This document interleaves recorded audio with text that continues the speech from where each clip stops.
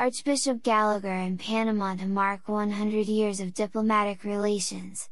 The Vatican Secretary for Relations with States wraps up a four-day visit to Panama marking the centenary of diplomatic relations with the Holy See. Archbishop Paul Richard Gallagher, Vatican Secretary for Relations with States and International Organizations, wraps up a visit to Panama on Thursday to mark a centenary of diplomatic relations between the Holy See and the Central American nation.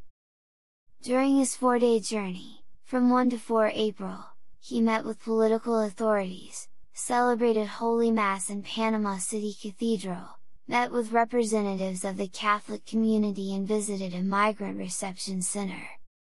The Vatican Secretary for Relations with States was invited by Panama's Foreign Minister, Janaina Tewaney Mencomo on his first day in Panama, Archbishop Gallagher, accompanied by the Foreign Minister, traveled to Darien, a province in the east of the country bordering Colombia and the Pacific Ocean. It is where hundreds of thousands of migrants embark on a journey to cross the Darien jungle as they attempt to reach the US.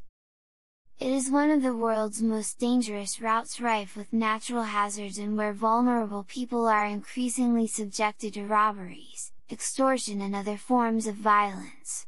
It is estimated that thousands of men, women and children have died during the crossing.